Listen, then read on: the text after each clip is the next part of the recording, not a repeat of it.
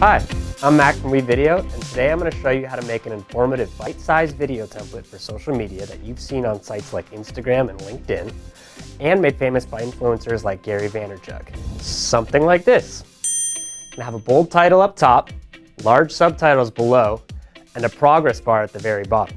Pretty cool, right? Let's get started. Step one, format the video to be either square or vertical. Simply select which option you like, then drag your clip into the video one track. Add your title text to the top of the video. On the top rectangle you've created, drag a static text clip onto the video track 4. Next, you can customize the font, text color, and size for that crisp and clean look. Add subtitles to the bottom of the video. Do this by dragging a basic static text tile to the video 5 track. Then begin transcribing the video.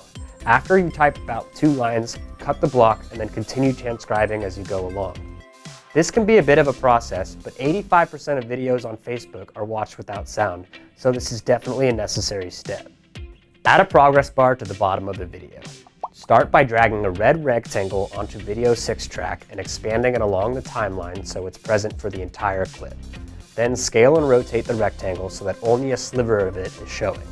Next, make sure you're at the very beginning of the video and using the animation feature, hit start when the sliver of red is showing, then hit the end button and drag the rectangle across the length of the video.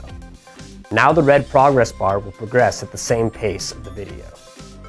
Add your social media handles onto the video. Using either a text or an image clip, drag it into video 7 track and extend it for the entire video. And voila, that's it. Save the project as a template for future videos so you don't have to repeat the entire process. Now you can really ramp up your social media game.